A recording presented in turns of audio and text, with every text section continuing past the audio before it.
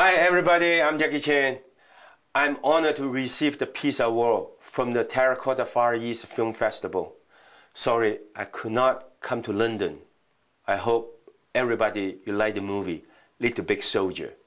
Thank you again. Thank you for all those years support. Love you all. Bye bye.